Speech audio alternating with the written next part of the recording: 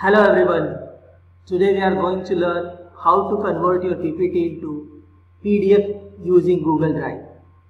First open your web browser. Type here drive.google.com. Log in with your Gmail user ID.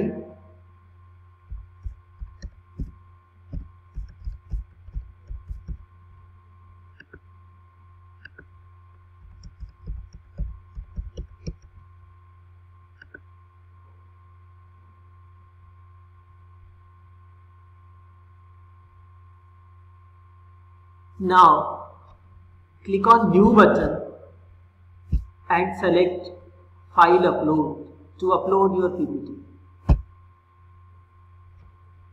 Locate your file.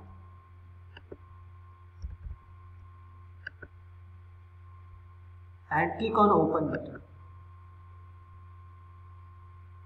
You can see the progress of uploading here.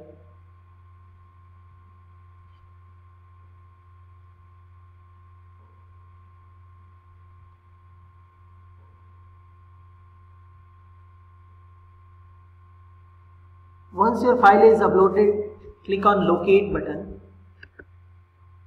This is your PPT. Now right click on the PPT and open with Google Slides.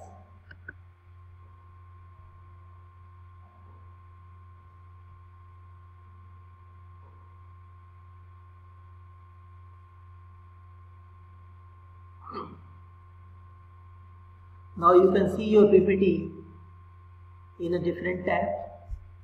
This is your PPT.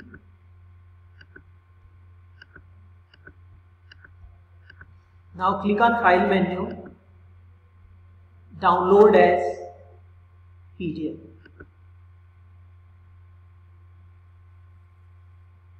Your PPT is downloaded as PDF. Now click here, show in the folder. You can copy it to the desktop.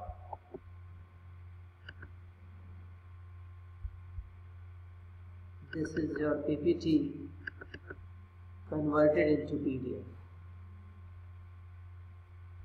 thank you very much